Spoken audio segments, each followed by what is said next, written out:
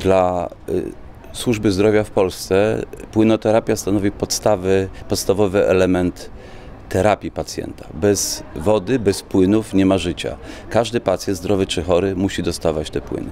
W związku z tym y, zapotrzebowanie szpitali na płynoterapię, ono rośnie, dlatego też, że rośnie skala hospitalizacji, rozwijają się szpitale, przybywa tych szpitali, przybywa również pacjentów. W Polsce zapotrzebowanie na płynoterapię rośnie około kilku procent rocznie, między 3 a 5 procent. Płyny to jest, y, to jest podstawa fizjologiczna każdego człowieka, ale poprzez właściwy dobór płynów jesteśmy w stanie również wyleczyć chorego, a przynajmniej jeśli nie wyleczyć, to bardzo mocno wesprzeć jego siły w, y, walce z chorobą. Na pewno odpowiednie nawodnienie organizmu powoduje, e, że mm, pacjent ma odpowiednią, utrzymane odpowiednie ciśnienie i nawet jeżeli chodzi w takich drastycznych formach jak wstrząs septyczny, poza tymi wszystkimi lekami, które podnoszą ciśnienie, właściwie ta płynoterapia też jest często taka bardzo agresywna, czy u pacjentów z urazami wielonarządowymi też tych płynów stosuje się dużo więcej niż powiedzmy u człowieka, który przychodzi na jakieś badanie, jest na czczo i żeby na przykład nie zasłabł, czyli poczuł się lepiej,